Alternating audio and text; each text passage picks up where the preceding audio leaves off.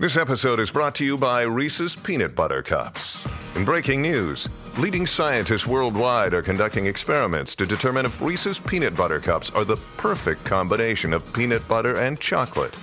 However, it appears the study was inconclusive, as the scientists couldn't help but eat all the Reese's. Because when you want something sweet, you can't do better than Reese's. Find Reese's now at a store near you. Fargo, the new virtual assistant from Wells Fargo, makes banking faster and easier. Like this. Fargo, what's my checking account routing number? And this. Fargo, uh, turn off my debit card. And this. Fargo, what did I spend on groceries last month? And that's just the beginning. Do you, Fargo? You can. In the Wells Fargo mobile app. Learn more at wellsfargo.com slash get Fargo. Terms and conditions apply. Your mobile carrier's availability and message and data rates may apply. Wells Fargo Bank and a member FDIC.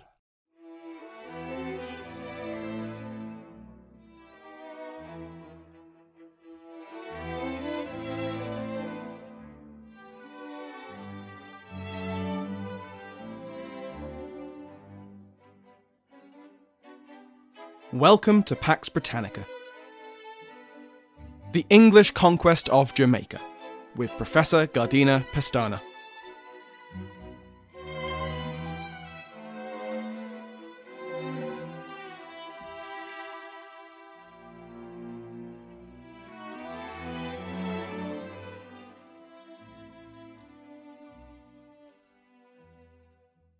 Today, I'm delighted to speak with Carla Gardina Pestana, Distinguished Professor and Joyce Appleby Endowed Chair of America in the World at UCLA. Professor Pestana is a specialist on the English and British Atlantic world and the early United States. Her work includes the English Atlantic in an Age of Revolution, which long-time listeners might recognize since I've referred to it quite a bit, and the English Conquest of Jamaica, Oliver Cromwell's bid for empire, which listeners will hear a lot more about, both here and now, as well as when the narrative soon reaches those events. Professor Pestana, thank you so much for joining me today.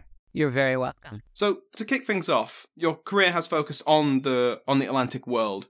I'm just curious if you could explain what was it about this field that really attracted you to it? Well, though a lot of people will say that the field was well established before I discovered it, I did not feel that that was the case when I was groping my way toward doing it.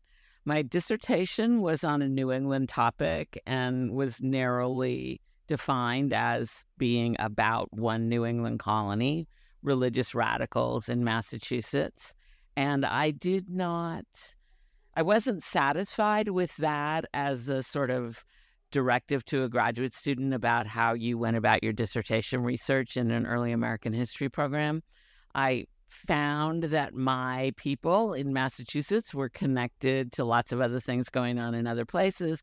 In particular, the Quakers had lots of ties outside of not only the future United States, but also, you know, they were connected to Rhode Island, they were connected to other colonies in the region, but they were also connected, say, to Barbados, which didn't fit the way my training had led me to expect their world to look. So the second book project was me looking out from New England to think about the wider, what we now call the Atlantic world. But mm-hmm. at the time, I referred to the project as all the English colonies in the Americas. you know, as I was writing the English Atlantic in the Age of Revolution, I wasn't aware that I could use this term Atlantic to encompass what it was that I wanted to do. So to me, it was a problem with the kind of nationalist origins of early America and how the field was defined in my graduate training and in the training in general that people, you know, were receiving at that time to think, you know, these people are part of a larger world and I want to understand what that meant for them. And therefore, I followed that impulse into figuring out about other places that people were going from England at the same time and, you know, trying to think about their experiences collectively. So I, by the time I published the book, the word Atlantic was more prominent in the scholarship, and I quickly grabbed it to use in the title of the book.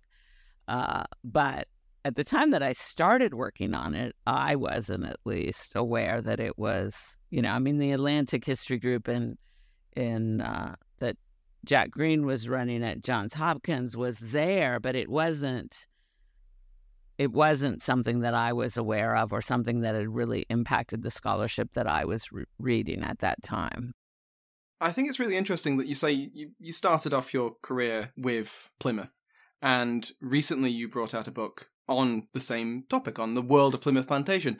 And I think it's interesting that there's this there's this full circle almost there. Obviously, you've been touching on it, working on it throughout your career, but it's it's interesting hearing you say that. You make a point in the world of Plymouth Plantation that to look at it purely as uh, something particularly isolated and on its own misses the the wider picture drastically. Well, I think Plymouth carries a particularly central place in the way the United States thinks about its past and so, doing Plymouth as the place that I wanted to foreground to consider Atlantic connections was a very intentional choice on my part. Instead of, you know, thinking my way through the usual narratives about Plymouth, you know, was was the Mayflower Compact this or that? You know, there what how do you uh, analyze the first Thanksgiving? There were kind of established debates that already existed in the scholarship.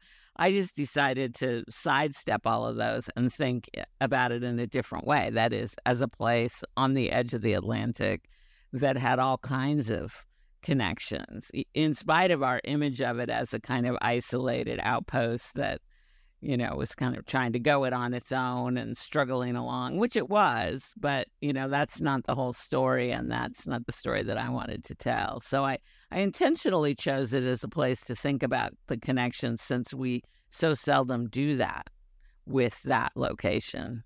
Although it does a lot of work in the national narrative, you know, the kind of myth, the origin myths of the United States. Its connectivity is not part of that work. The main reason I wanted to speak to you today was because of Cromwell's Western design. We will be reaching this soon in the narrative, and I thought it would be fantastic to have you on to talk about it because it's such a pivotal moment in the early English colonization. So, to start with an easy one, what was the Western design? Well, the phrase Western design was intended to imply an, an effort and adventure in the Western uh, reaches, that is, in the Americas. And the term, I think, was coined in order to obscure the details about it. People knew that it was that there was a plan afoot for quite a long time, but they either were not supposed to talk about it or were only speculating about what it was because of the efforts to keep it secret. And therefore, it began to be referred to as the Western design because of this uh, prohibition on on brooding about the plan. Uh, it was an effort by the Cromwellian government to conquer Spanish America. That was the goal.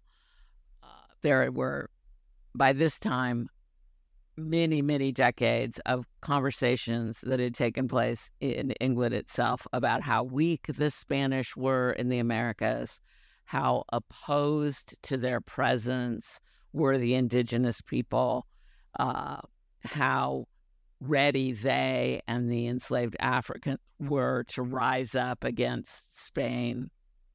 So there was this sense that the Spanish were extracting huge amounts of wealth, which made it a, an attractive conquest, but at the same time that their hold was very tenuous and that they would be easily displaced.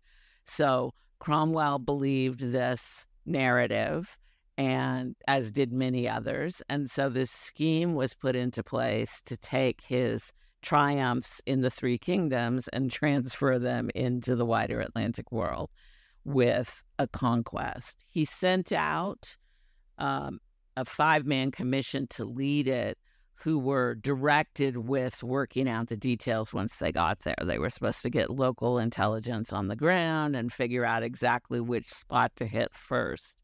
And that was that that instruction made sense in the sense that they thought first they'll take this, then they'll take that, then they'll take the other thing and it's not as if they were choosing just a place to conquer in strategizing once they arrived. So in that sense, he felt fine about delegating it to people who would make those initial choices.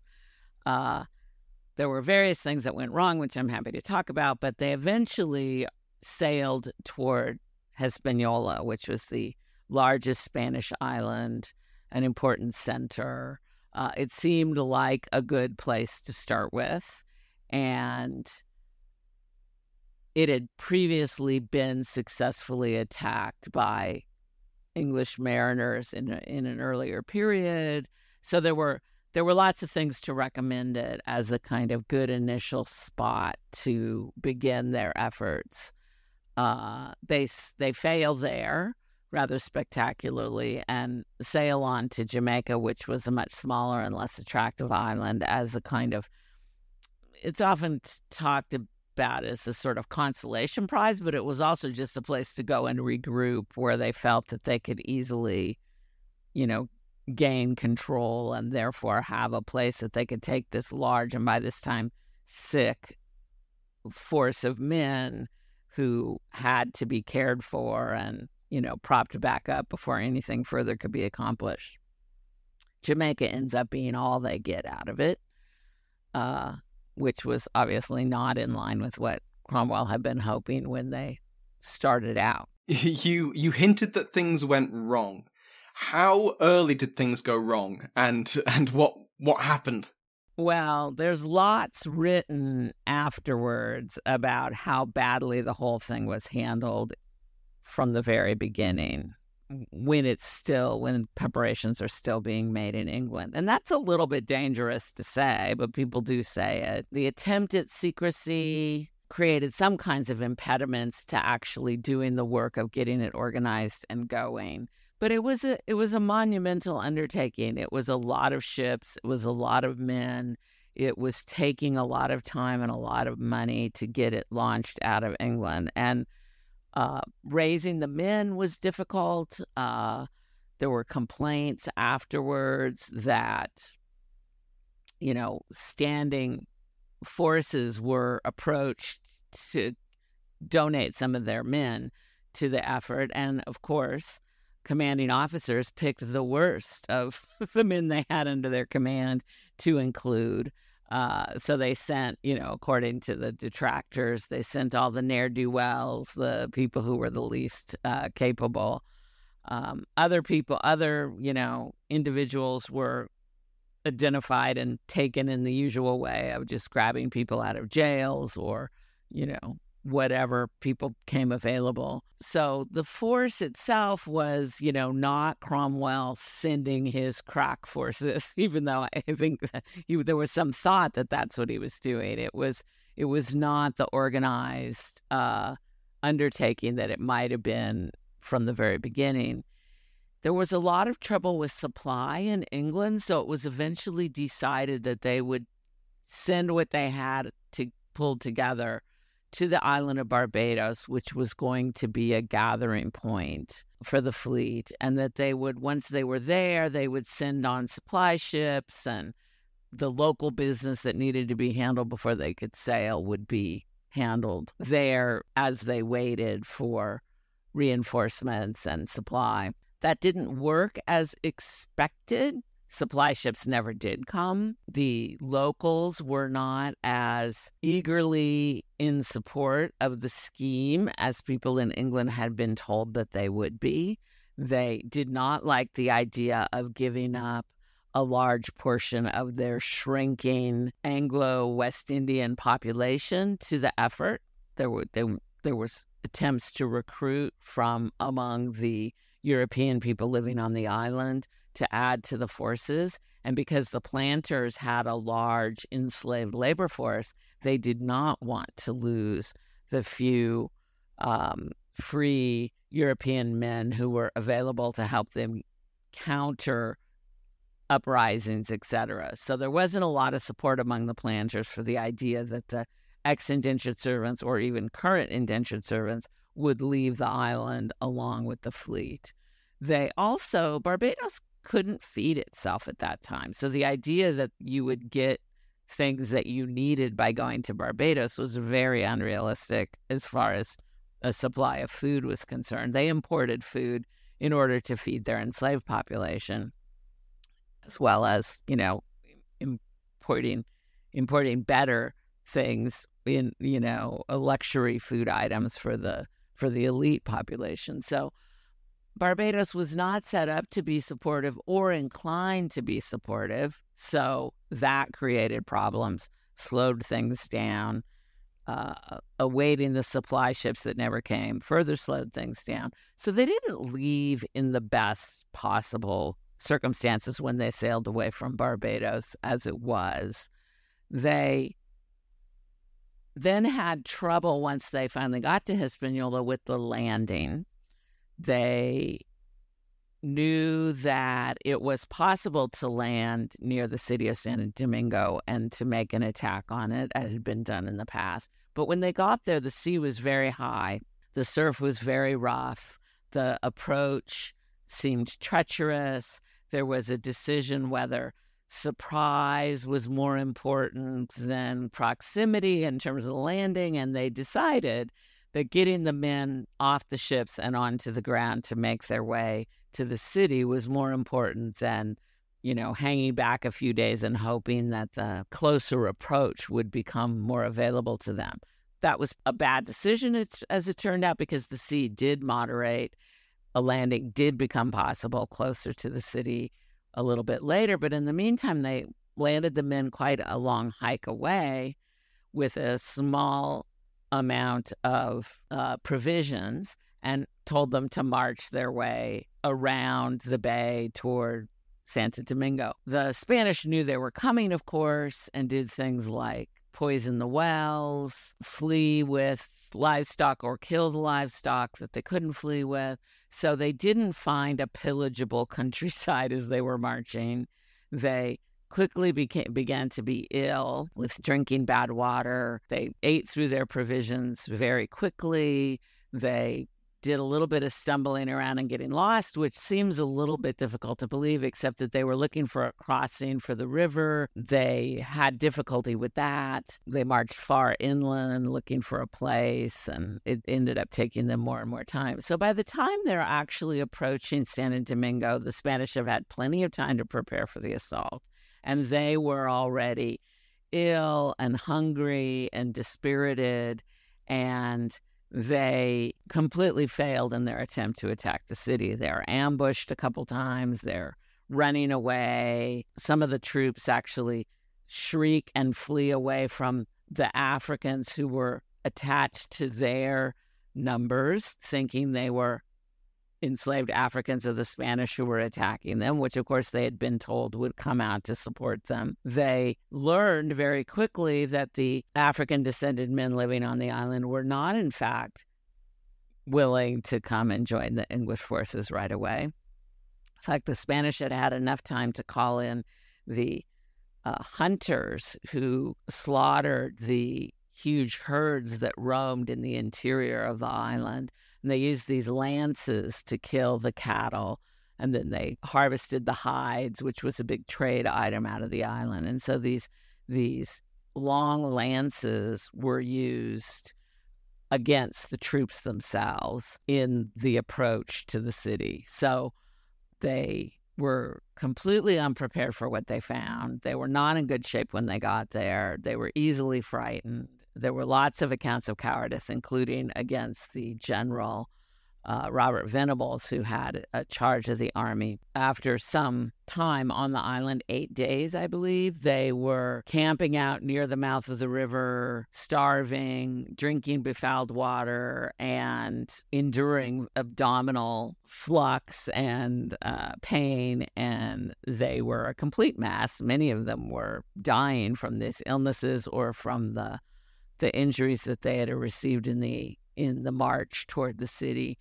And so it was decided finally that they had to take the men off and uh, go somewhere else, do something else. Uh, it was, and there were tensions between the Navy, which had been on the ships nearby, and the and the army, which had been enduring this eight days of marching around, getting sick and hungry, and then attacked. And so there was, uh, you know, blame from the sailors about the cowardice of the soldiers, and the soldiers were being ill treated by the sailors, when they were boarded on the ships. So the thing was a complete disaster, basically. It was said afterwards that Edward Winslow, who had been actually in Plymouth Plantation from the beginning uh, and had gone then to revolutionary England, where he had gotten involved in government affairs and had been sent as a successful colonizer of another part of the English Atlantic as part of the uh, five man commission that was going to lead the design. And he was by this time an older man. And he it was said that when he died on shipboard sailing away from Hispaniola, it was of a broken heart because he was so devastated by the bad account of itself that the English troops had given in this attempted assault against the Spanish island again it's just in, it's very interesting how interconnected this this atlantic world is it make it makes perfect sense that one of your projects leads into another which leads into another which has come back to the first after the disaster on Hispaniola, the English famously, they move on to Jamaica. How did they fare in Jamaica? Why did Jamaica work, whereas Hispaniola did not? well, there was some question whether Jamaica worked, at least in the short term. But uh, Jamaica was a much smaller island. It was not very developed by the Spanish. It was the last island that the Columbus family held control of. It was left in the hands of the Columbus family when the Habsburgs were pulling back from allowing them to own all the big Spanish islands, which had been the original deal after Columbus had sailed there four times. And his descendant technically owned the island, but didn't do much with it, drew a very modest income from it, never went there, didn't really know exactly what was going on there. And there weren't very many people living there. There wasn't much going on economically or otherwise there. So when the English arrived, there was some advance notice so that the people living in the city, the small the town that was there, were able to gather up their things and flee. And that would become a kind of standard way for Caribbean islands to defend themselves from intruders because the disease environment would often overtake the new arrivals. And so, if the people who live there could simply get away with their goods, they could hide out somewhere else, waiting for illness and hunger to overtake the invading force. So, this was an early use of that strategy. They took off, and Jamaica is, of course, very mountainous. And so, there were lots of places that were less accessible, that you could go, that it would be hard to follow you or find you. So they they basically they also the people who lived in the town if they were wealthy enough also had households that were you know in the more out in the, in the countryside. So a lot of them initially just retired to their homes that were you know elsewhere on the island. Because the english didn't you know land and attack right away this was allowed to happen so then eventually it went into a parley about what arrangements were going to be made. The Spanish seem to have thought that the English were there as a, in the way that English had come before, which was to attack, to take what they could get their hands on, to you know maybe refortify themselves with wood and water and any food they could gather. So they initially thought this is what they were dealing with. That this, they didn't they didn't imagine that this was an effort to conquer an entire Spanish island. So initially they were in negotiations about, you know, th- thinking they were going to be asked to bring, you know, this much cattle to be slaughtered and etc. But in fact, even though the army did ask for that, they also said, you know, and we're staying and we expect you to surrender to us. So some people were fairly quickly taken off the island and deposited elsewhere. They made agreements with the English to do that. But a big portion of people decided that they wanted to either resist or escape without English aid. They did not trust the English to take them. So they went uh, into the more inaccessible areas, into the mountains, into the forests, and hid themselves from the English. They slowly began ferrying those members of the population who didn't want to stay on the island and mount a resistance off the island uh, to Cuba. So small, small um, vessels were used to ferry people the English eventually started patrolling the, for those and captured a few of them and questioned people. But what developed on the island was was basically a war between the people who stayed uh, and we were trying to get rid of the English and the English army itself. And that went on for five years. It had various twists and turns. I don't think there was a major Maroon community in Jamaica at the time that the English arrived, but I do think that both free Africans, Afro Spanish residents, and some of the enslaved eventually created their own communities over the course of this five year period while the English are trying to conquer the island completely away from the Spanish. So there end up being these independent, well organized African communities hidden in various parts of the island that are resisting the English, but in some cases also resisting the Spanish, uh, according to what the English learned, and attempting to be independent of everyone else who's on the island and make their own way.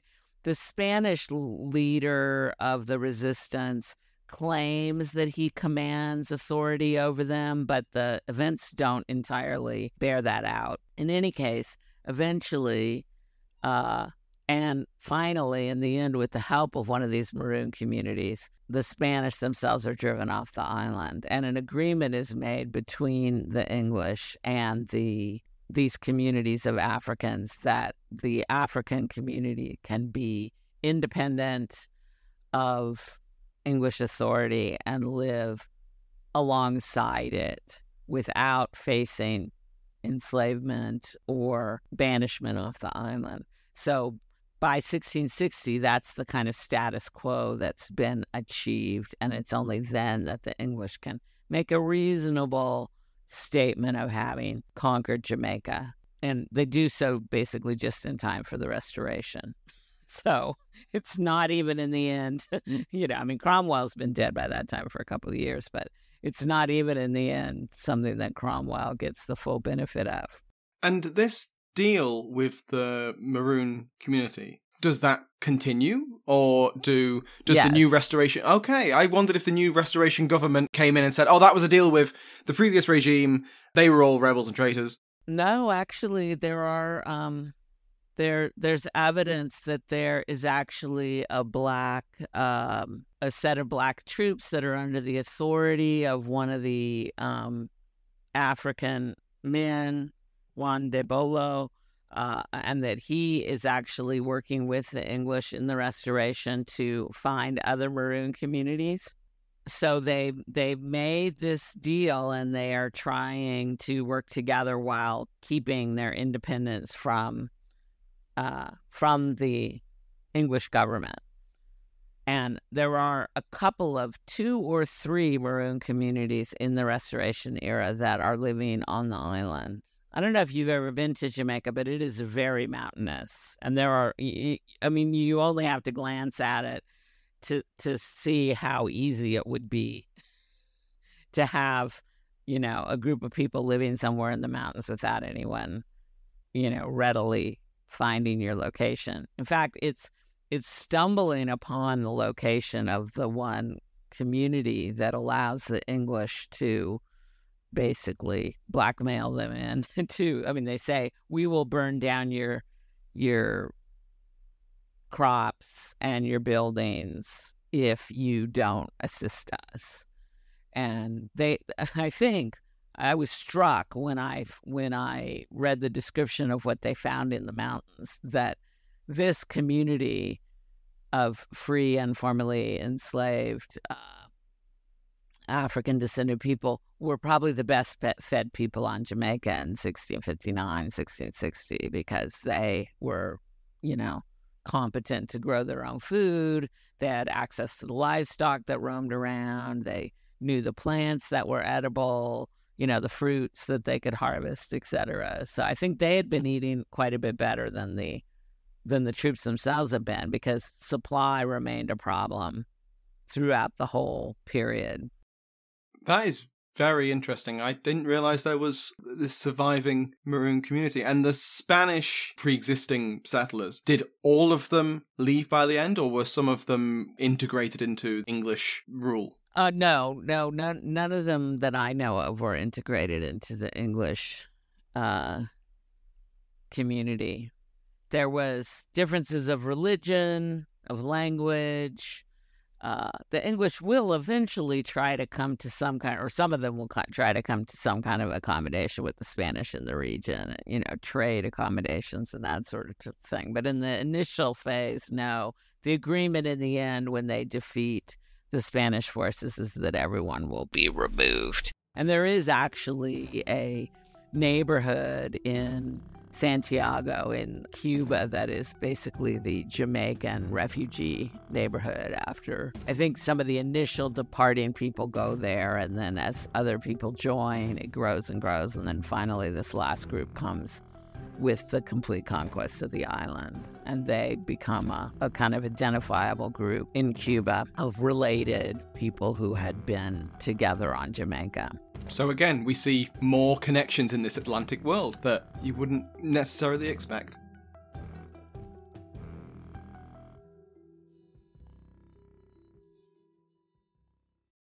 This episode is brought to you by Reese's Peanut Butter Cups. In breaking news, leading scientists worldwide are conducting experiments to determine if Reese's Peanut Butter Cups are the perfect combination of peanut butter and chocolate.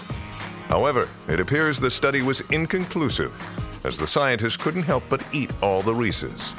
Because when you want something sweet, you can't do better than Reese's. Find Reese's now at a store near you. The regular season is heating up. New stars are emerging, and that means more opportunities to win up to 25 times your cash on prize picks. The most exciting way to play daily fantasy sports. Just select two or more players, pick more or less on their projection on a wide variety of stats, and place your entry. It's that easy. Let it fly to turn $10 into $250 with just a few taps. Easy gameplay, quick withdrawals, and injury insurance on your picks are what make Prize Picks the number one daily fantasy sports app. Watch your favorite players and get paid doing it this basketball season. See your entries make progress during the game or make new entries for the second half and the fourth quarter. Three pointers, assists, rebounds, and everything in between are yours for the taking. Join the Prize Picks community of more than 7 million players who have already signed up. Right now, Prize Picks will match your first deposit of up to $100. Just download the Prize Picks app and use code GET100. That's code GET100 on Prize Picks for a first deposit match of up to $100. Prize Picks. Pick more, pick less. It's that easy. Now, famously, Jamaica becomes almost usurps Barbados as the engine of empire of, of, the English Empire in the Caribbean driven by enslaved labor. How does that come about? That's a long, slow process, actually. It's not really until the 18th century that it becomes a big sugar enslaved behemoth. Initially, well, there's still a kind of militant group on the island that thinks the war, the ongoing war with the Spanish, the fact that the Spanish don't want them there, is a good reason to keep up the warfare that because even though the conquering of the actual island had not been very successful, the Navy had been busy in the region since arriving, attacking various settlements. Um, the English took over Tortuga for a while and ruled it. You know, they had launched various attacks against different Spanish locations over the course of the previous few years. And some people thought, you know, there was no reason to stop that kind of, of interaction. Other people thought, well, if we can make peace with the Spanish, which eventually does in fact happen, we could begin trading with them and that that would be more profitable. And initially, Jamaica's big involvement with uh, slavery was less in employing the slaves themselves and more in transshipping them to Spanish locations where they there was a big demand for enslaved Africans, and the English are perfectly happy to try to fulfill that. That being said, it's difficult for the English to settle Jamaica. It gets a bad reputation, not surprisingly, given these early years. Cromwell's efforts to recruit settlers from other locations, which he energetically and optimistically enters into, sending agents around to talk to various people in various other colonial outpost, pretty much of a failure. There's a group that comes from Nevis that basically, in spite of already being island residents and supposedly acclimated to the area, many of them die after they arrive, including the governor who had led the the group that uh, removed to Jamaica. So it's it's a long, slow process to actually get any English bodies. And one thing they do is they decide that they're going to basically not let the army go home. The army is going to stay and become the first workers of the land. And they had already begun that because they divided the men, the various companies of men up into different parts of the island in part to hold it, also in part because they thought not all, you know, living all close together, they could improve the health of the individual units. But they began to have, as part of their military duty, basically farming, which is not popular. And they have to, the soldiers actually have to farm the land as part of their military duty, which is a way to um, get around the problem of a lack of provisions being sent out. When the transition is made to civil society after the restoration, the men are actually given like the former soldiers are actually given small plots and the officers larger plots so they actually start settling jamaica in part that way there is a group that comes from Barbados, and they come with knowledge about slavery and ideas about creating slave plantation, sugar plantations employing enslaved labor, but they don't they don't get much done of that work in the initial period. Uh, there are a lot of impediments, and the economy remains rather mixed. There are cocoa walks there, which are actually much prized as a piece of land for officers to be given. So they are exporting that and educating English consumers what to do with chocolate because it was not familiar to them in the same way that it was in, by this time in Spain. In fact, I ran across a ship that takes a Spanish prize and it's full of the beans, the cocoa beans, and they say, Well, this is useless. What do we do with this? And I start just pitching it overboard. it's like, this is not, you know, in the end, this is not what they would have done once they figured out what they were, what they should have been doing. But, but at the time, they just didn't have the knowledge. It takes some time for Jamaica to turn toward the really large investment in slavery and and large scale plantation labor. And that work, you know, it's slow and it it's underway by the 1670s, but it's not really, it doesn't really become the dominant or even a large part of what the is bringing uh, profit into the island coffers until the late uh, 17th century. And Jamaica is not set up to be entirely taken over by sugar in any case. The mountainous areas are better for coffee, they eventually discover. They do keep the cocoa walks. They, so it it always has a bit more of a mixed agricultural base than what we envision. But it does become in the 18th century very valuable, very profitable.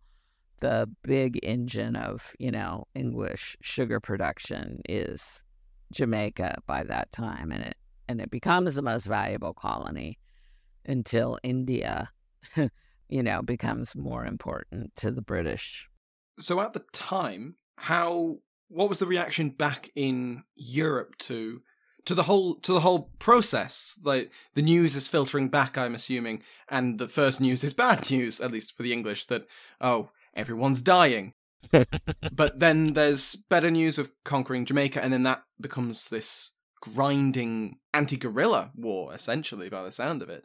How does the rest of Europe react? I'm, I'm thinking specifically not just in England, but the Spanish, who you know are now very much at war with England uh, and and the Commonwealth, but also the Dutch, because England has only recently just been at war with them, competing over colonial interests. I'm I'm curious how how were they reacting to all this? Well, there's a lot of interest in what is Cromwell up to as he's pulling together the fleet and the men and the provisions. And there's lots of spying attempted and efforts to keep the information about what their goals are, what their intentions are out of uh, public view so that their enemies won't know. They do try to cause people to believe they're going somewhere else, you know. But the kinds of provisions that are getting loaded are actually looked at and analyzed and discussed in terms of, oh, looks like a tropical climate, looks like a far, fairly far distance. This kind of, you know, news is getting passed around.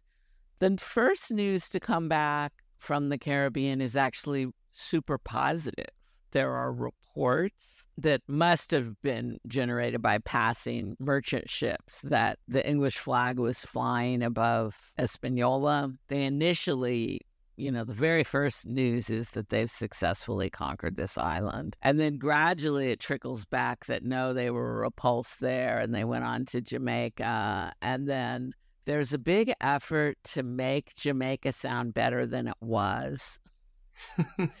they there's lots of pamphlet literature and letters that are being sent back and forth and produced that are describing everything the island is and everything it can be.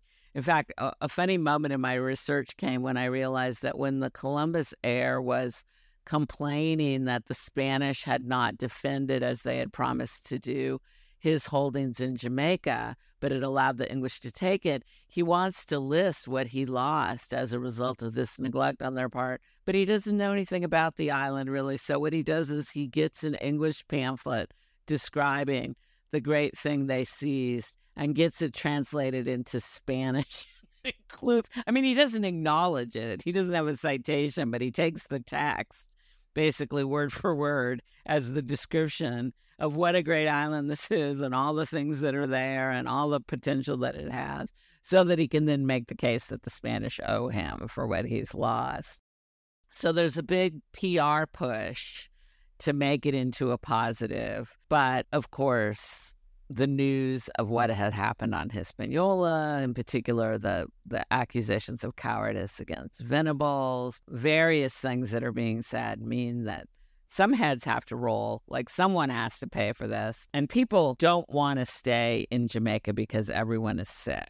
And William Penn, who Sir William Penn, who was the head of the naval forces, decides that their work is done that he can leave a smaller naval force there under one of his vice admirals, William Goodson, and that he can go home with a large number of the ships, which he really shouldn't keep occupied in the Caribbean, he says, you know, endlessly because Cromwell needs them at home. And Venables is supposed to stay, but he's very ill. And he uses that as a reason, maybe as an excuse to be carried on board ship and taken back as well. So a lot of the senior men, the men who are well connected with the army, leave, and many men in the navy leave. And so when they get back, Cromwell has both Penn and Venables thrown into the tower. Penn apologizes and explains himself and gets out pretty quickly, but Venables is left there for quite a while, writes a long relation defending himself, which is a gold mine of information about what went on, and is finally in disgrace but allowed to be released and basically retires to his country estate and never does anything else, you know, of a of a public nature. I think later on he publishes a book about fishing, like one of these angler books or you know, it's just something very much the country gentleman from there, then Cromwell tries to do damage control. But unfortunately for him, a lot of these people who've come back are telling the story of how badly it went, are suggesting that the lack of supply ships, the poor quality of the men sent, various things that could be laid at Cromwell's door were part of the problem, which of course he doesn't love. So he he actually does things to suppress the information like close the press and basically tries to put a gag order on all these discussions and to tell people that they're not supposed to to talk about what went on. And part of the reason to keep the army there, besides the fact that they don't have good control of the island yet, is to keep more men from coming back and talking about the conditions and what went on, etc. So, you know, there's a big effort to keep the news of it suppressed. But of course, the Europeans do find mm-hmm. out, are aware that this island has been taken. The Dutch don't react in a big way that I was able to discern. I mean, they know it's happening. They give the island a wide berth while the Navy is there. Eventually, they start trading there or stopping there. Technically, because of the Navigation Act of 1651, they're not allowed to trade with the English islands. And in fact, the whole Western design fiasco starts off from their point of view with the seizure of a lot of Dutch and other ships that were trading illegally at Barbados. Just one of the first things the fleet does when it arrives is and takes all these traders from Northern Europe who are not supposed to be trading in the English islands and seizes their their their vessels and their cargoes. So the Dutch are giving it, a, you know, in the Caribbean are giving Jamaica a wide berth. And in Europe, they're just like everybody else, kind of sitting back to wait and see what will happen.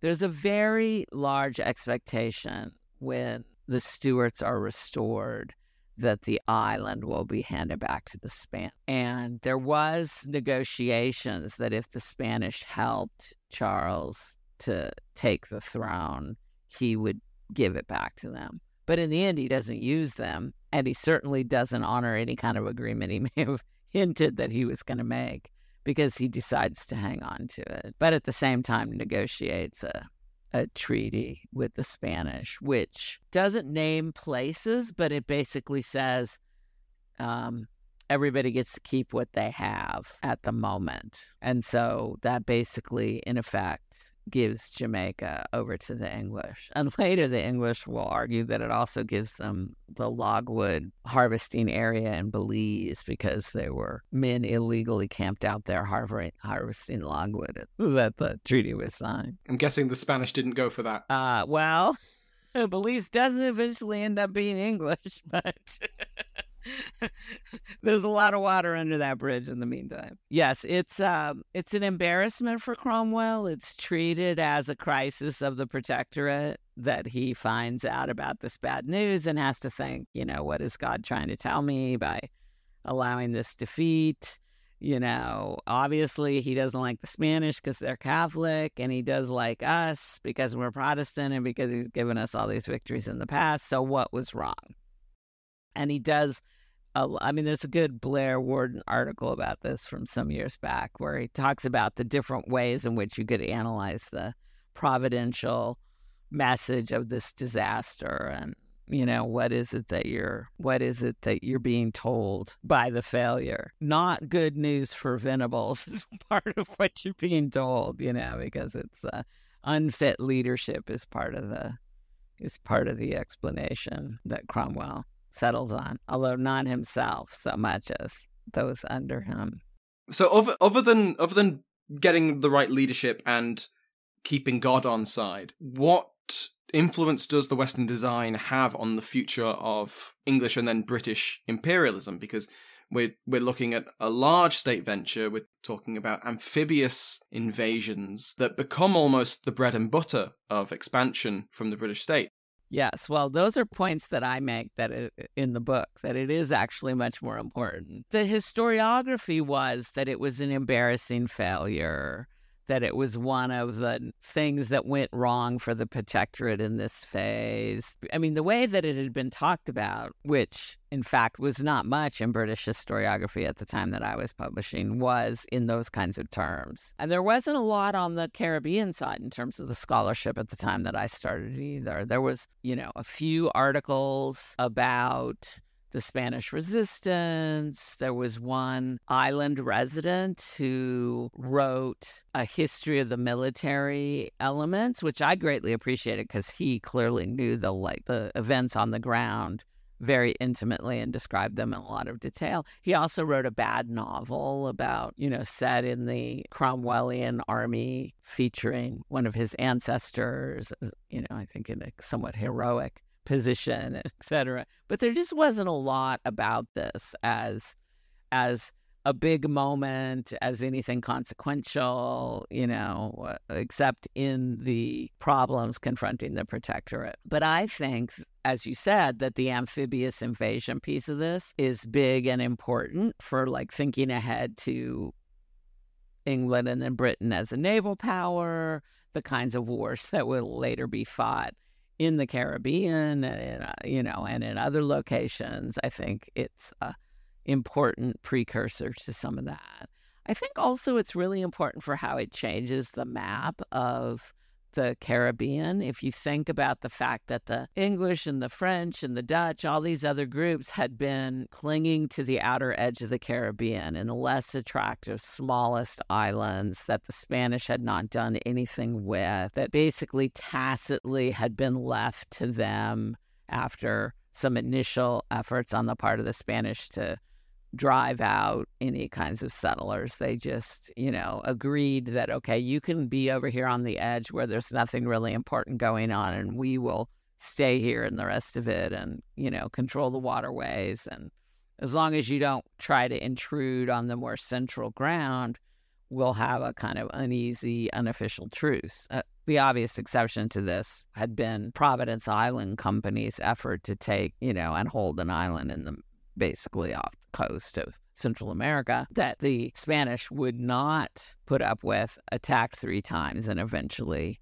completely destroyed the you know the English effort there. But from then in 1641 when that had been removed until almost 15 years later when the when the English take Jamaica this truce had held where the big islands, the waterway, the valuable stuff, the passage for the convoys going out with the silver were all controlled by the Spanish, and they allowed these other groups to be kind of in marginal areas off to the side. But Jamaica means suddenly that the English are in the middle of the Spanish Caribbean.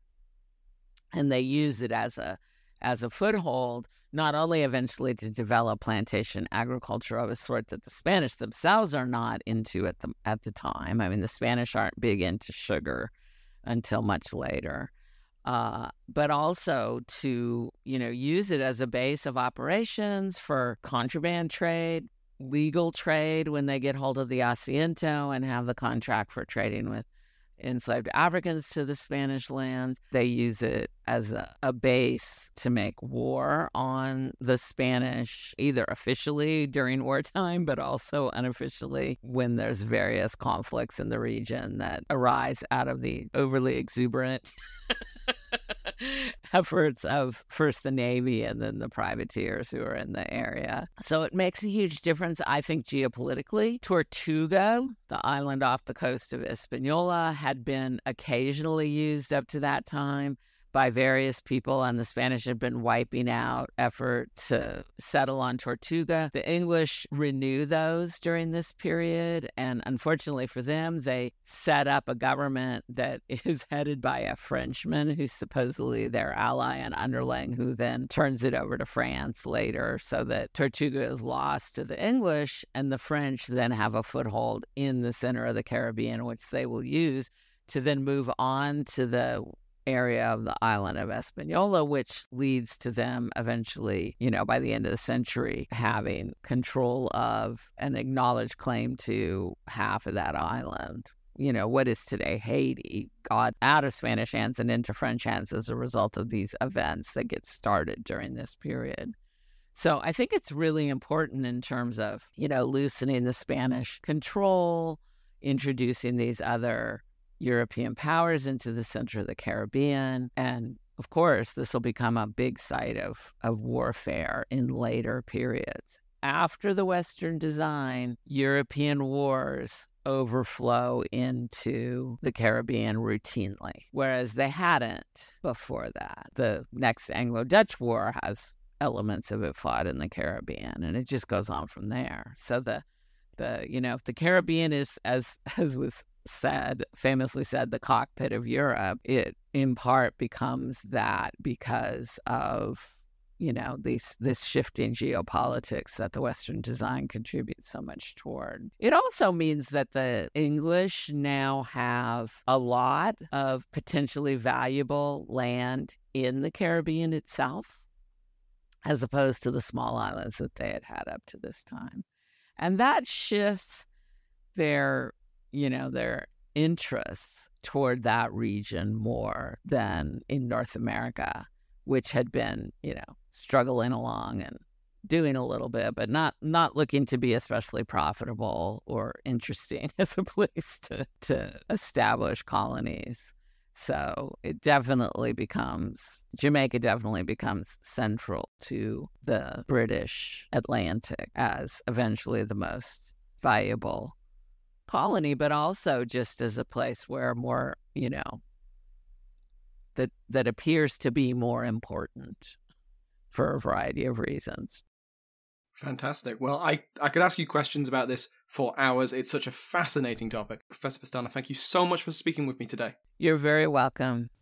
Thanks again to Professor Pestana for taking the time to speak with me. If you're interested in reading her work on the English conquest of Jamaica, then I'd recommend picking up The English Conquest of Jamaica. I've also found her book on the colonial reaction to the Wars of the Three Kingdoms very useful for the podcast, and that is called The English Atlantic in an Age of Revolution. A third book that is highly readable and very entertaining is The World of Plymouth Plantation. I read it cover to cover, not because I needed to for research, but because it was just so interesting and well written. The full titles of all three are in the description of the episode, and you can find them everywhere you'd find history books.